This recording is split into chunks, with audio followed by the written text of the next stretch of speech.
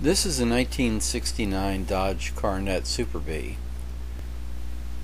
and you can see that uh, interesting induction hood there. Twin scoops on the hood. The engine's a 383 but with uh, it's a Magnum engine so it has the 440 heads. And it has a hot camshaft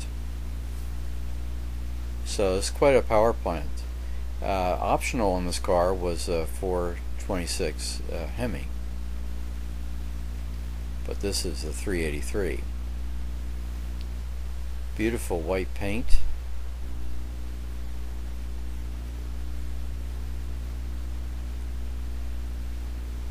And appropriate wheels. And there you see the the hardtop.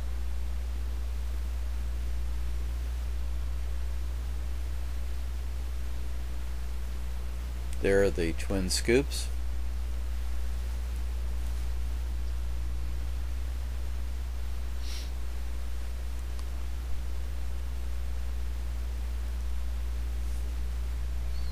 and the Super Bee identification.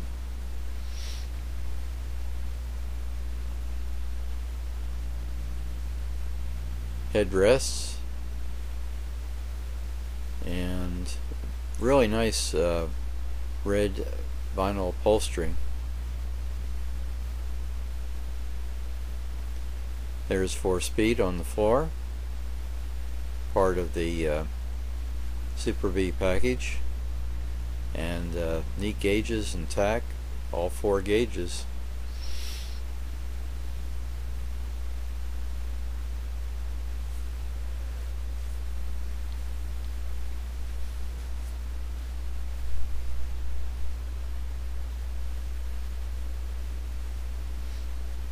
That was the first year for headrests, as I remember. I had a 68 Coronet.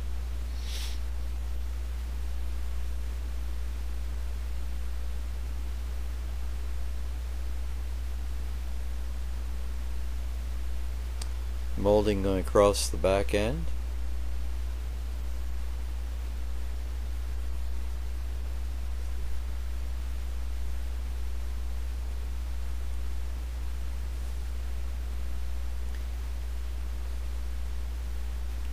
Back window is uh, an interesting curved piece of glass.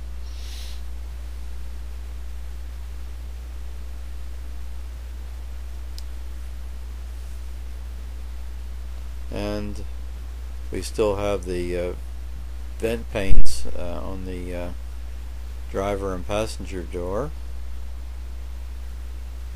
And there's another peek at the engine. Beautiful car.